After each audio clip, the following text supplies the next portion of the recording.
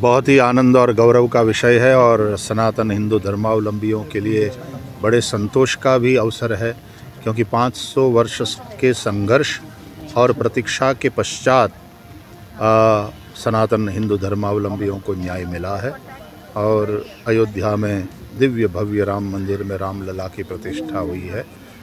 पूरा वातावरण राममय है। हम ये प्रार्थना करते हैं भगवान श्री राम को कि जिस तरह से आप मंदिर में विराजमान हुए।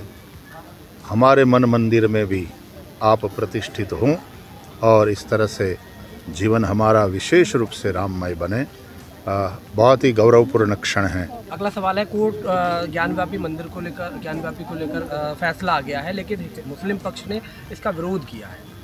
न्यायिक प्रक्रिया चलती रहेगी। एक पक्ष के आ, फेवर में कुछ आता है फैसला तो दूसरा पक्ष उसका विरोध स्वाभाविक रूप से करता है। लेकिन एक बात ज़रूर कहना चाहूँगा कि न्याय प्रक्रिया का आदर तो करना ही पड़ेगा इस देश में रहते हैं, इस देश का संविधान। और न्याय प्रक्रिया का आदर करो, न्यायालय का आदर करो, वो जो फैसला देता है, वो फिर स्वीकार करना पड़ेगा। न्यायालय तो तथ्यों के ऊपर आधार रखते हुए अपना फैसला सुना था। एक नेता है एआईएमएम के असुद्दीन ओवैसी। उन्होंने ये कहा है कि इस फैसले को ही गलत बता दिया है। उनका कहना है कि 6 दिसंबर की घटना दोबारा दोहराई जा सकती कोई भी उकसाने वाली बात वो देश के विरुद्ध में होगी।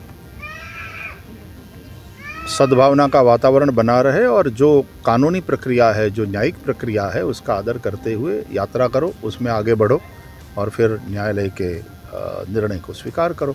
इस तरह से बोलना जो नेशनल लेवल के जो नेता है, उनको शोभा नहीं देता। एक इतिहाद मिल काउंसिल के अध्यक्ष हैं, तौकीर राजा, उनका भी एक लगातार बयान आ रहा है। उनका कहना है कि मुसलमान जो है देश प्रेम की वजह से सब्र कर रहा है। हमारे नौजवान अगर कंट्रोल से बाहर हो गए तो देश में जंग का माहौल। ये निवेदन भी भर्सना के योग्य है। आप कहीं ना कहीं शब्दों के जाल के साथ लोगों को उकसाने की चेष्टा कर रहे हो। लेकिन देश का युवा, वो समझदार है। देश नेशन फ़र्स्ट।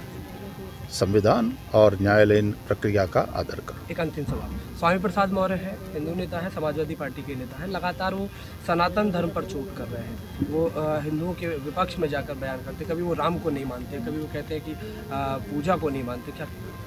ईश्वर को मानो या न मानो तुम्हारी स्वतंत्रता है। लेकिन धर्म को तो मानो। हमारे कई धर्म इतने हैं ऐसे हैं विश्व में जो ईश्वर का स्वीकार नहीं करते। बुद्धिज़्म में ईश्वर का कहाँ स्वीकार है?